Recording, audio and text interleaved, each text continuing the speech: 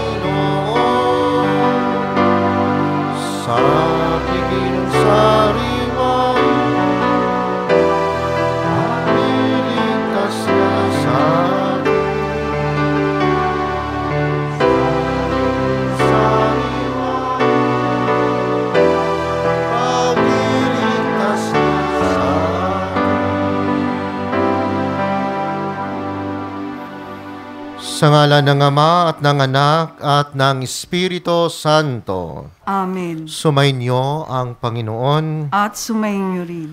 Mga kapatid, aminin natin ang ating mga kasalanan upang tayo maging marapat gumanap sa banal na pagdiriwang.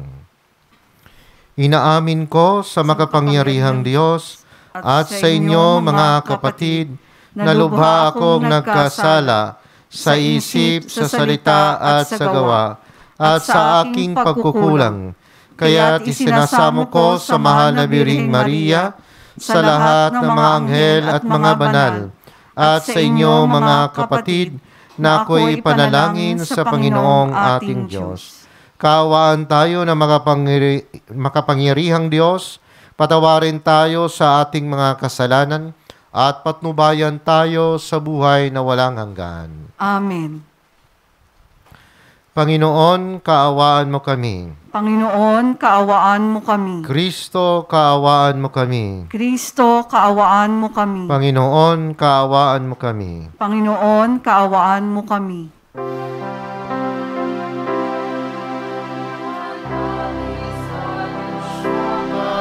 Uh,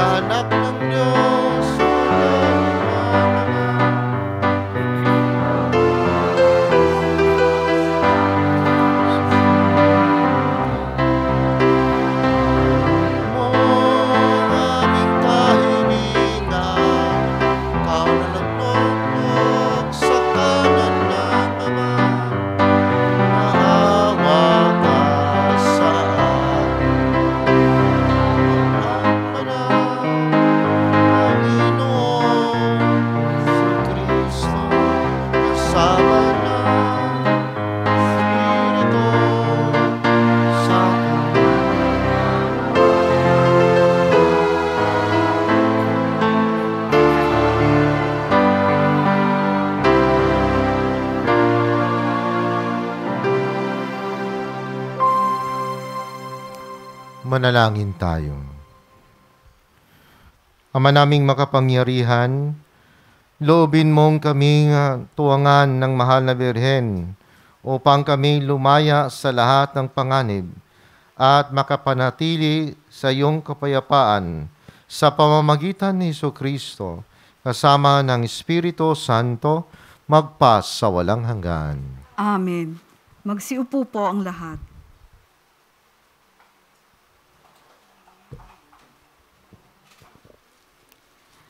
Pagbasa mula sa sulat ni Apostol San Pablo sa mga taga-Kolosas.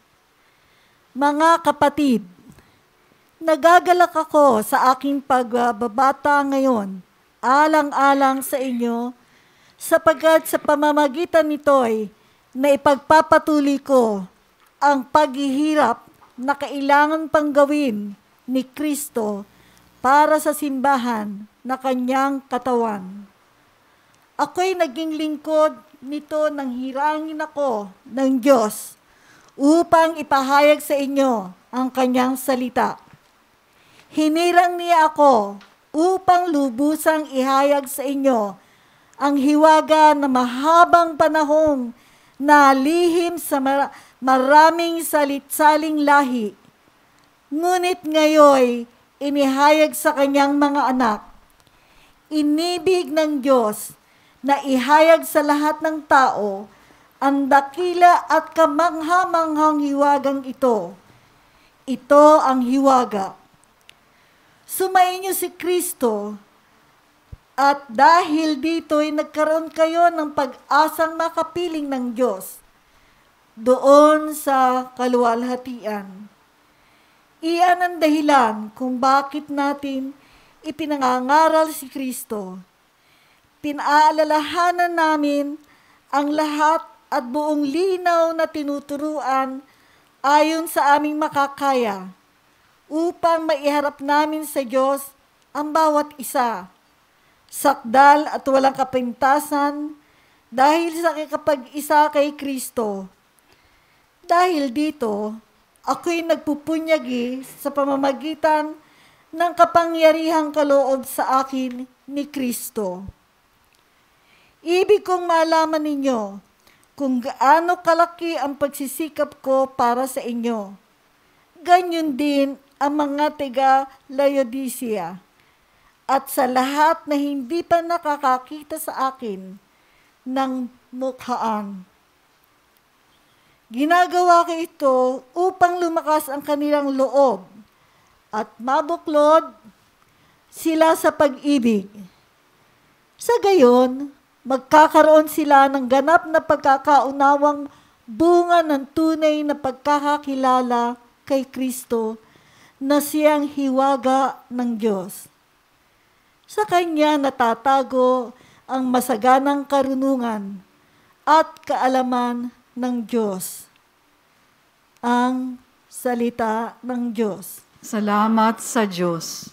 Salmong tugunan, Tugon, kaligtas at karangalan ay buhat sa Diyos lamang.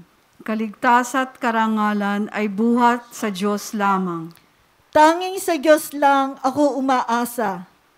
Nang aking pag-asay, tanging nasa Kanya. Tanging siya lamang ang tagapagligtas, tagapagtanggol ko at aking kalasag. Akin ang tagumpay sa lahat ng oras. Tugon, Kaligtas at karangalan ay buhat sa Diyos lamang. Mga kababayan, sa lahat ng oras magtiwala sa Diyos. Sa Kanya ilagak ang inyong pasaning ngayoy dinaranas. Siya ang kubulihan sa isang lulunas. Tugon, Kaligtas at karangalan ay buhat sa Diyos lamang. Magsitayo po tayo bilang pagbibigay galang sa banal na ebanghelyo.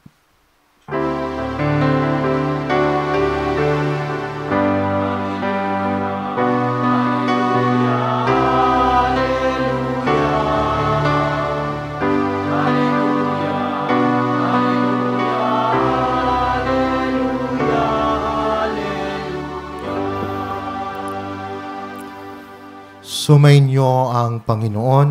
At sumainyo rin. Ang mabuting balita ng Panginoon ayon kay San Lucas. Papuri sa iyo, Panginoon. Isang araw ng pamamahinga, muling pumasok si Isos sa sinaguga at nagturo.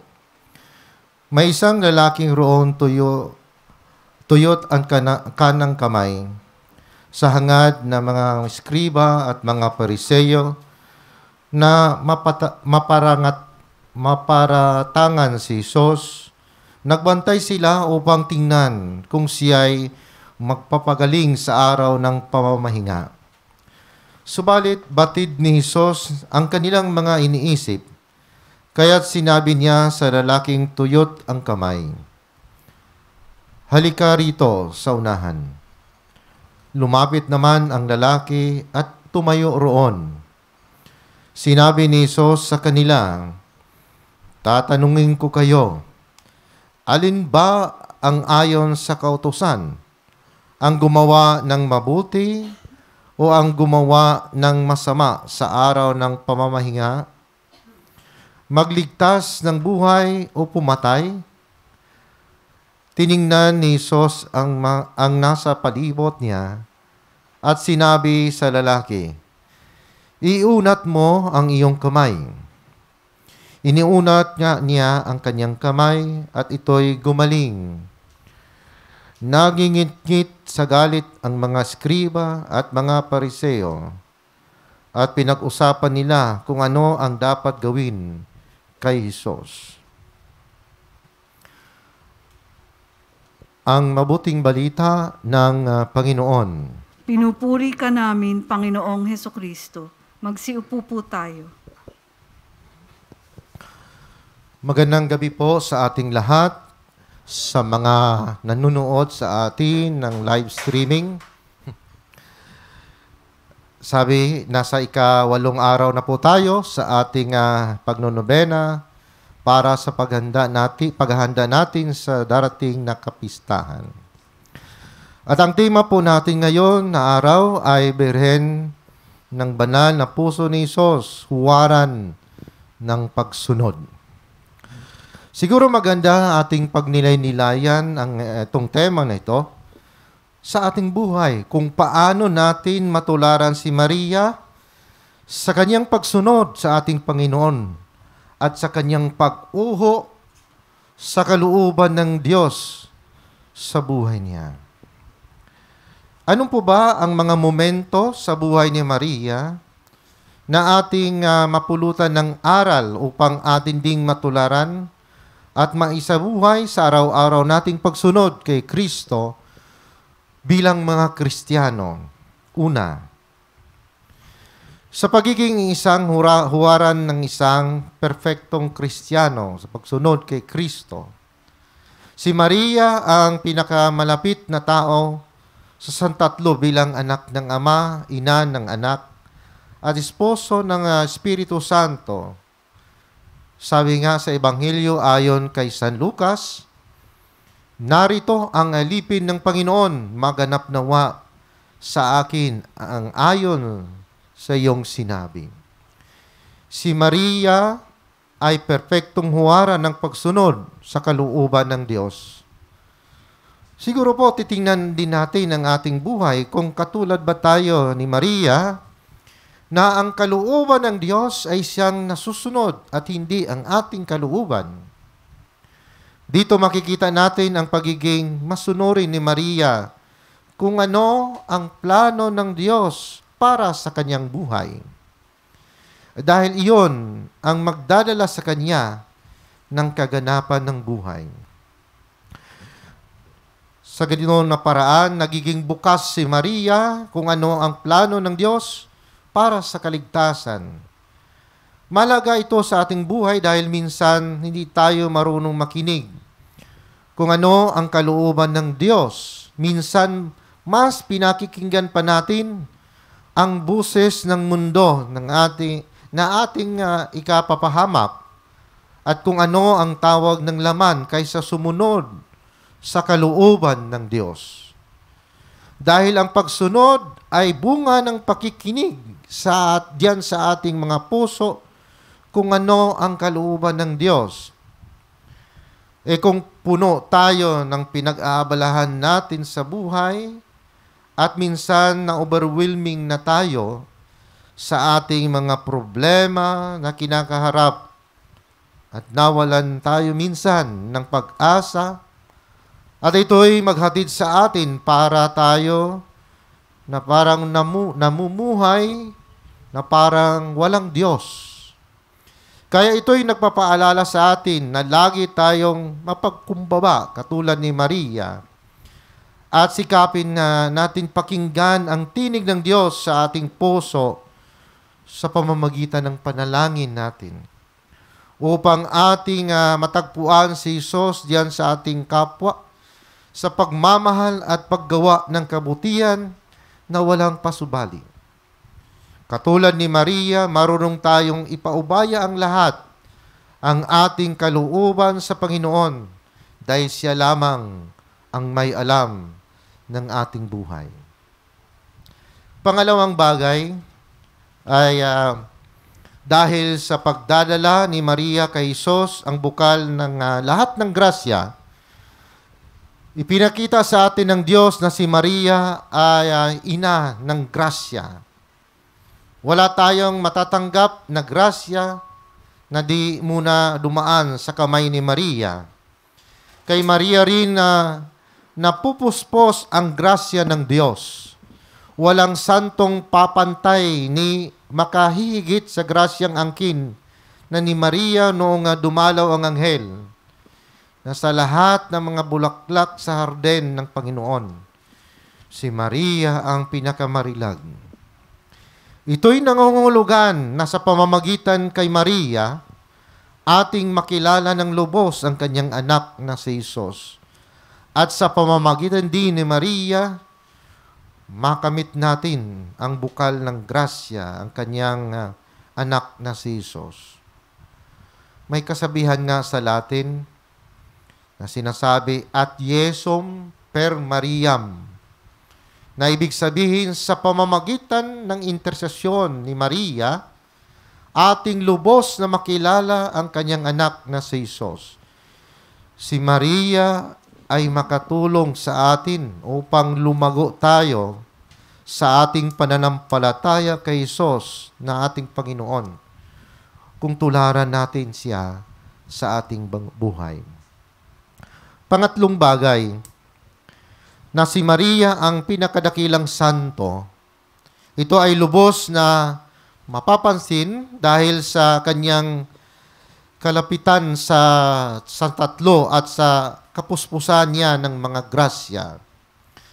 Bilang uh, pinakadakilang santo, siya rin ang pinaka makapangyarihan at pinakamalawak ang saklaw sa pananalangin para sa ibang tao. Siya ang pinaka-epektibong intersesyon kay Kristo upang tayo mapalapit sa Kanya.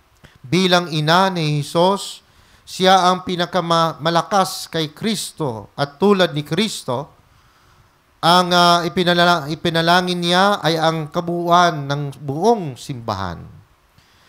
Sa ganitong paraan, masasabi natin na si Maria, katulong ni Kristo, para sa ating kaligtasan.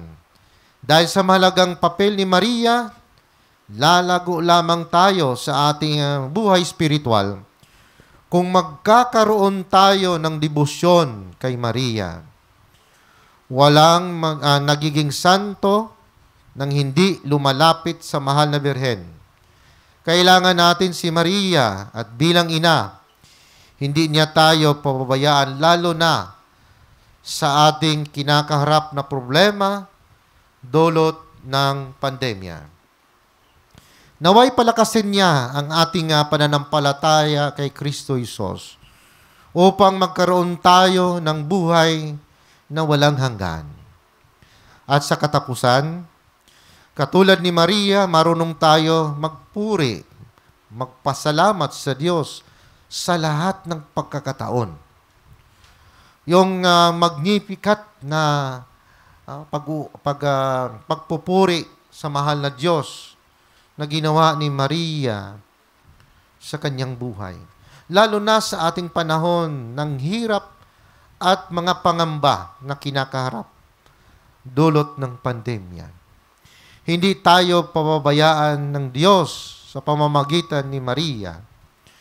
Marunong pa rin tayong tumingin ng utang na loob sa Diyos at ito'y ipapakita din natin sa ating pagiging maawa, mano, maawain at matulungin sa kapwa, lalo na itong um, mga nahigit na nangailangan ng ating tulong. Ng ating pagsunod at pagtugon sa Panginoon, katulad ni Maria, ay ito'y makikita sa ating tunay na paglilingkod sa ating kapwa. Naway matulungan tayo ni Maria sa pamamagitan ng kanyang intersesyon na maging tapat tayo kay Kristo sa ating pagsunod sa Kanya sa pamamagitan ng buhay ng kabanalan at buhay ng paglilingkod para sa paghahari ng Diyos. Kaya Maria, Ina ng, ng Diyos, ipanalangin mo kami. Magsitayo po tayo. Ikawalong araw, Birhen ng banal na puso ni Jesus, huwara ng pagsunod. Tulungan mo kami na gawin ang anumang sabihin niya sa amin. Tayo pong lahat. O Diyos, ang iyong mga salita ang nagturo sa amin na, na sa pagsunod namin sa mga utos mo ay kami ay nabubuhay sa pag-ibig. Ang pagsunod ni Kristong anak mo sa iyong kalooban, pagsunod na humantong hanggang kamatayan sa krus, ay pagpapakita ng ganap na pag-ibig sa iyo ng Ama. Ang pagiging bukas ni Maria na laging sundin ang loob mo ay isang pagpapakita din ng makabuluhang plano ng katubusan para sa amin. Ang kanyang mga kilos at gawi ay patunay ng kanyang pag-ibig. Inululuhog namin tulungan mo kaming matularan si Jesus at si Inang Maria sa pagsunod sa iyong kalooban. Ipinapanalangin namin na nawa ay ma- maunawaan namin ang kalooban mo sa pamamagitan ng iyong salita, ng simbahan, ng mga taong aming nakakasalamuha, at sa lahat ng mga pangyayari sa aming buhay. Kailangan namin ng mga propeta na magsasalita sa iyong ngalan at makapagtatama sa amin sa tuwing kami ay lumilihis ng daan patungo sa iyo. Tulungan mo kami, katulad ni Maria, na amin ding masambit ang katagang mangyari nawa ang iyong kalooban sa lahat ng sandali ng aming buhay. Hinihiling namin ito sa pamamagitan ni Kristo na aming Panginoon, ngayon at magpakailanman. Amen. Manalangin tayo. Mahal na ina ng banal na puso ni Isos, tulungan mo po kaming maunawaan ang dakilang pagmamahal ng Diyos na ipinamalas ng sugatang puso ni Isos. Tulungan mo po kaming uh, makatugon sa kanyang pagmamahal tulad sa naging tugon mo sa kanya upang kamitin namin ang buhay na walang hanggan. Kamitin mo, par- mo para sa amin mula sa bukal na nag, uh, nabuksan sa kanyang tagiliran ang grasyang aming kailangan at ang mga ibinibigay ng banal na Espiritu. Tulungan mo kaming uh, may sakatuparan ng aming mga kahilingan, ang mga hinihiling. Maging amin din ang damdamin ng kanyang puso at ang kanyang misyon ay maging misyon din namin sa pamamagitan ni Kristo kasama ng Espiritu Santo magpa sa walang hanggan. Amen.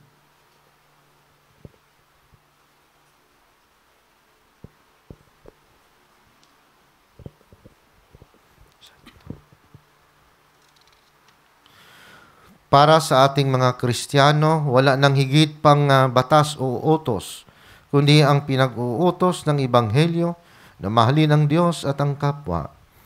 Pahalagahan natin ang uh, paniniwalang ito habang nanalangin tayo para sa pangailangan ng bawat membro ng ating simbahan, ang ating tugon. Panginoon, dinggin mo ang aming panalangin. Panginoon, dinggin mo ang aming panalangin. Ang simbahan naway palaging maging bago at dalisay sa pamamagitan ng mga salita ng Ebanghelyo ni Kristo. Manalangin tayo sa Panginoon. Panginoon, dinggin mo kami. ang aming panalangin.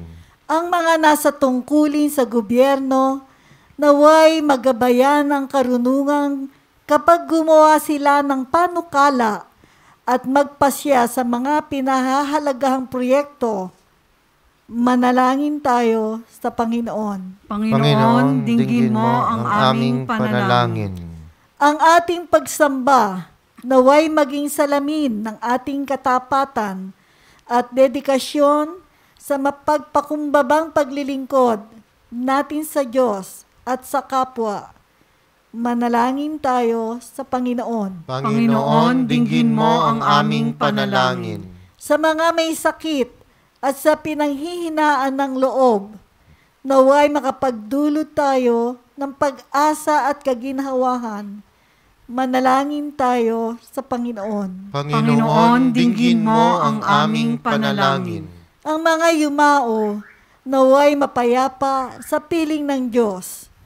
Manalangin tayo sa Panginoon. Panginoon, dinggin mo ang aming panalangin.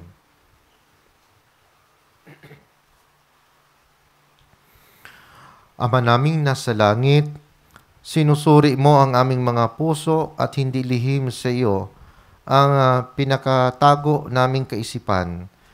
Liwanagan mo ang aming mga puso para sa higit na tunay na pagsamba at ang aming mga kamay para sa higit na bukas loob na paglilingkod sa kapwa.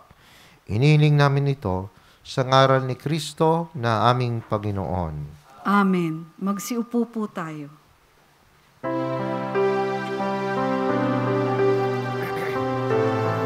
Kapuri-puri sa mga likha sa sanlibutan, sa iyong kagandahang loob, narito ang aming maianay mula sa lupa bunga ng pinawang namin ito, para maging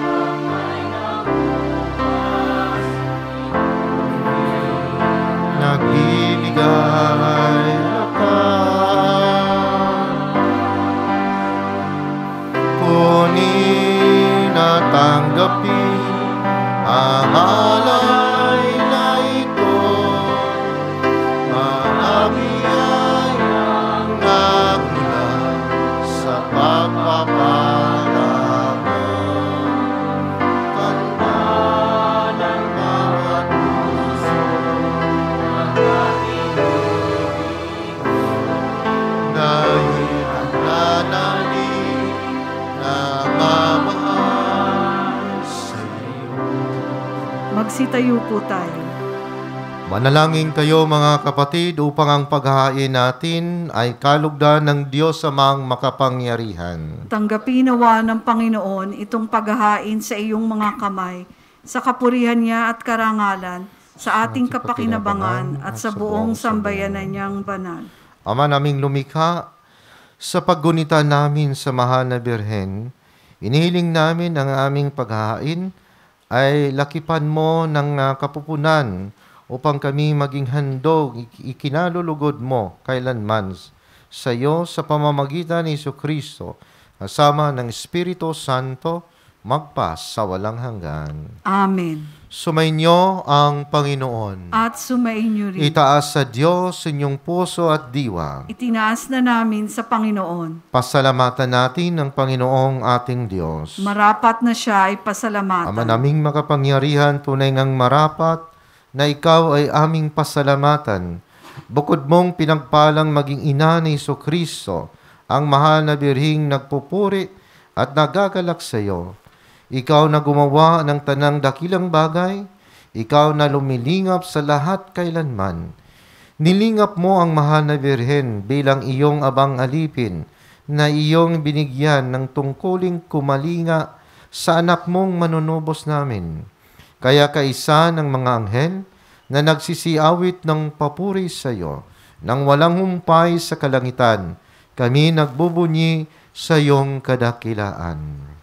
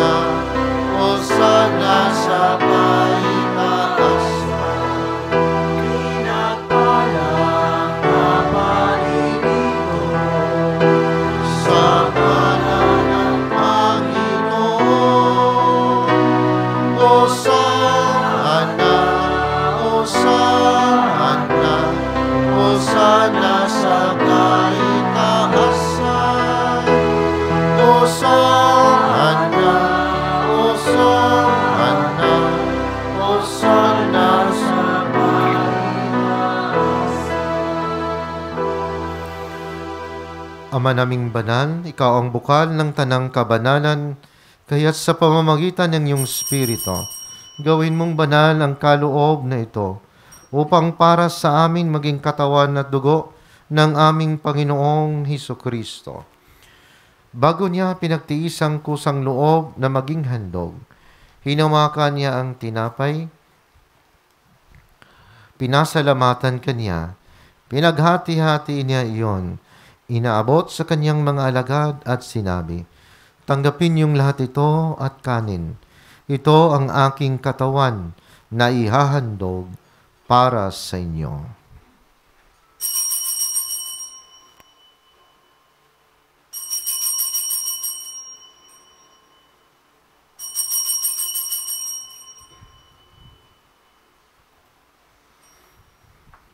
Gayon din naman nung matapos ang hapunan, hinawakan niya ang kalis, muli kanyang pinasalamatan. Inaabot niya ang kalis sa kanyang mga alagad at sinabi, Tanggapin yung lahat ito at inumin. Ito ang kalis ng aking dugo, ng bago at walang hanggang tipan. Ang aking dugo na ibubuhos para sa inyo at para sa lahat, sa ikapagpapatawad ng mga kasalanan. Gawin ninyo ito sa pag-alaala sa akin.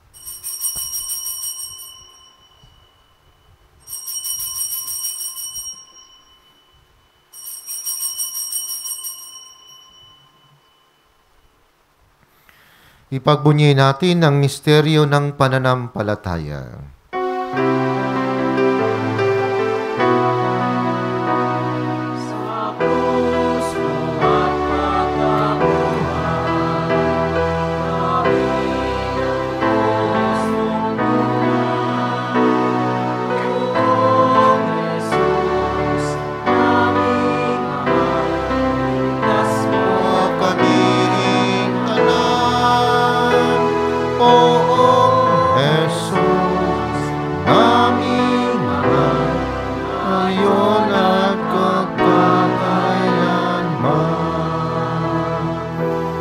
Ama, ginagawa namin ngayon ang pag-alaala sa pagkamatay at muling pagabuhay ng iyong anak. Kaya inaalay namin sa iyo ang tinapay na nagbibigay buhay, at ang kalis na nagkakaloob ng kaligtasan. Kami nagpapasalamat dahil kami iyong minarapat na tumayo sa harap mo para maglingkod sa iyo. Isinasamo namin kaming magsasalo-salo sa katawan at dugo ni Kristo ay mabuklod sa pagkakaisa sa pamamagitan ng Espiritu Santo. Ama, lingapin mo yung simbahang laganap sa buong daigdig. Puspusin mo kami sa pag-ibig kaysa ni Francisco na aming Papa at ni Pablo Virilio na, na aming Obispo at ang Tanang Kaparian. Alalahanin mo rin ang mga kapatid naming nahimlay nang may pag-asang sila'y muling mabubuhay. Gayon din ang lahat ng mga pumanaw. Kaawaan mo sila at patuloyin sa iyong kaliwanagan. Kaawaan mo at paginapating kaming lahat na makasalo sa iyong buhay na walang wakas, kaysa ng mahal na Biring Maria na ina ng Diyos, ng kanyang kabiyak ng esposo, si San Jose, kaysa ng mga apostol at ng lahat ng mga banal na namuhay dito sa digdig ng kalugod-lugod sa iyo. May pagdiwang nawa namin ang pagpupuri sa ikararangal mo sa pamamagitan ng iyong anak na aming Panginoong Heso Kristo. Sa pamamagitan ni Kristo, kasama niya at sa Kanya, ang lahat ng parangal at papuri ay sa iyo. Diyos amang makapangyarihan, kasama ng Espiritu Santo, magpas sa walang hanggan.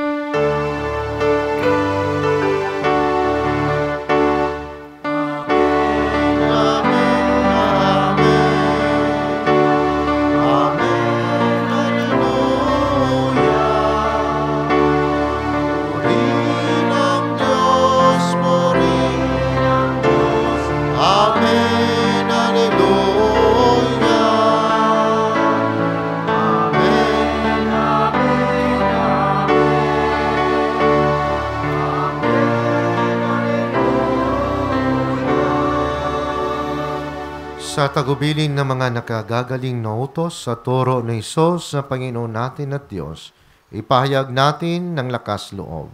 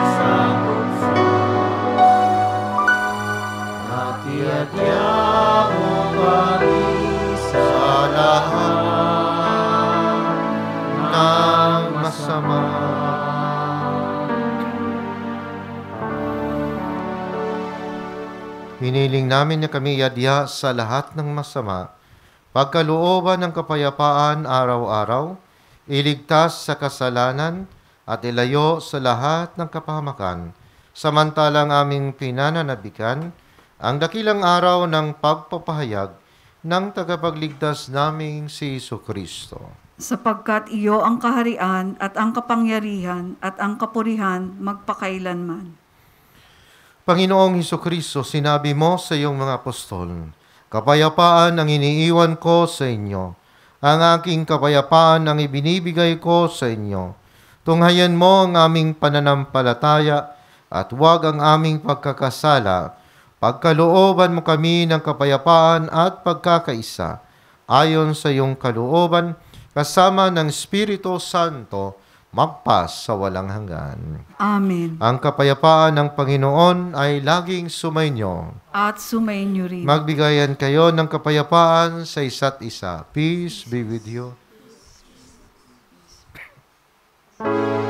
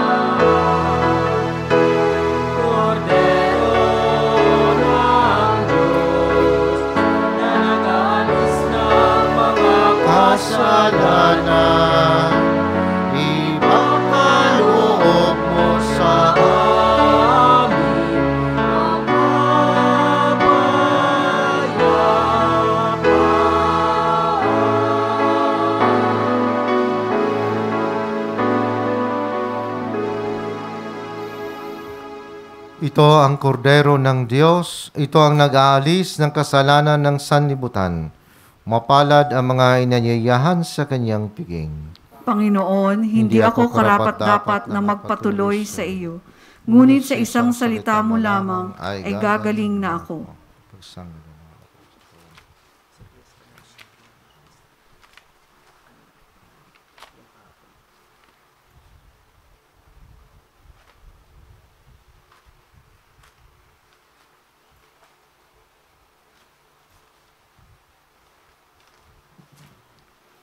Espiritual na pakikinabang. Panginoong Jesus, ako ay naniniwala na ikaw ay nasa kabanal-banalang sakramento. Iniibig kita ng higit sa lahat at ninanasa kong tanggapin ka sa aking kaluluwa sapagkat sa mga sandaling ito, hindi kita matatanggap sa sakramento. Tumuloy ka sa Espiritu sa aking puso. Niyayakap kita na para bagang naririto ka na at iniaalay ko ng buong buo ang aking sarili sa iyo. Huwag mong hayaang mawalay ako sa iyo. Amen.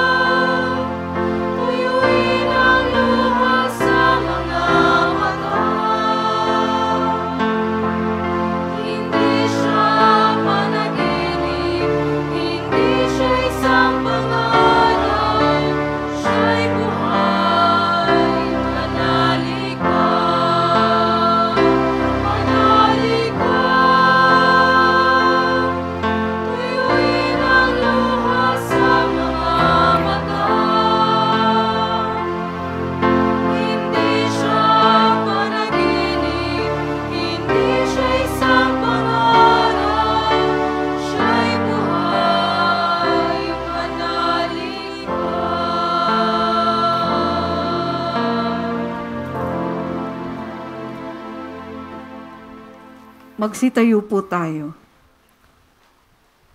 Manalangin tayo.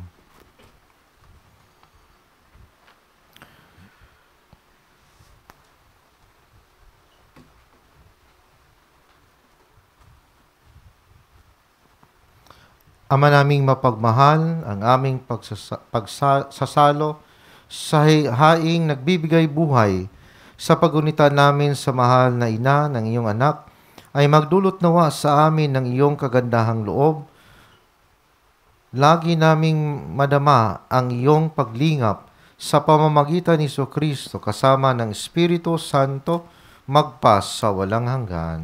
Amen. Panalangin sa mahal na ina ng banal na puso ni Jesus. Alalahanin mo, mahal na ina ng banal na puso ni Jesus, ang mga dakilang bagay na ginawa ng Panginoon para sa iyo. Hinirang kang maging kanyang ina, ninais niyang malipit ka sa kanyang krus. Binahaginan kanya ng kanyang kalwalhatian. Dinirinig niya ang iyong panalangin. Sa kanya'y ialay ang aming papurit pasasalamat. Sa kanya'y isang guni ang aming kahilingan. Na tulad mo'y mamuhay kaming lagi sa pagmamahal ng iyong anak upang ang kanyang kahari ay patuloy na maisakatuparan. Samahan kaming lahat sa bukal ng buhay na nagmumula sa kanyang puso nang lumaganap sa sanlibutan ang pag-asa at kaligtasan, ang katarungan at kapayapaan. Pagmasdan mo kaming sa iyo'y nagtitiwala, pakinggan mo kaming sa iyo'y nagsusumamo. Maranasan nawa naming lagi ang makainang pagkalinga mo, siya nawa. Magsiupo muna po sandali para sa ilang pasasalamat. Patuloy po natin pasalamatan ang mga tumulong sa paglilingkod ngayong gabi. Ang SOCOM, ang Music Ministry, Altar Server, Ministry of Lector and Commentator, at sa lahat po ng sumusubaybay sa ating misa. Pasalamatan din po natin ang sponsor sa ating misa ngayon, ang St. Louis de Montfort Chapel, headed by Brother Angelo de la Cruz. At higit po sa lahat, atin pong pasalamatan ang nanguna sa ating banal na pagdiriwang, si Reverend Father Simplicio Lumakad, S. CSJ BP. Ang sponsor po bukas ay ang San Juan Bautista at San Roque Chapels. Maraming salamat po at magsitayo na po tayo. Sumainyo ang Panginoon, At sumainyo rin. magsiyuko kayo habang iginagawad ang pagbabasbas.